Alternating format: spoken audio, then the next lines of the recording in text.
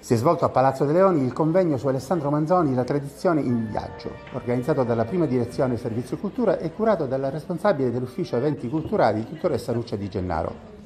Dopo i saluti istituzionali del sindaco metropolitano dottor Federico Basile, i lavori sono stati introdotti dalla dirigente della cultura avvocato Anna Maria Tripodo, a cui sono seguiti gli interventi della giornalista e scrittrice Stefania Romito, del professor Nino Giordano, della direttrice nazionale del Dipartimento Letteratura Accademia Tiberina di Roma, professoressa Antonietta Micali,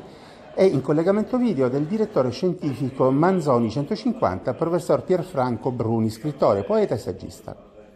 L'evento odierno è un doveroso omaggio al grande scrittore milanese che ha avuto un ruolo fondamentale nella diffusione della lingua italiana determinando non soltanto la formazione dell'identità nazionale, ma anche la crescita culturale e civile di un paese che si avviava verso la tanto aspirata unità.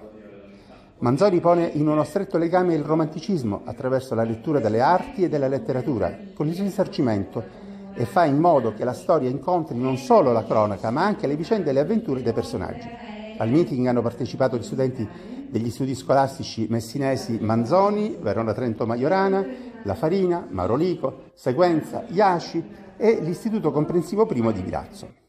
Il progetto scientifico nazionale Manzoni 150, ideato da Bruni, costituisce un viaggio nella tradizione della letteratura italiana e attraverso le radici manzoniane realizza una rilettura interpretativa comparata e dialogante tra lingua, storia, letteratura, filosofia e religione.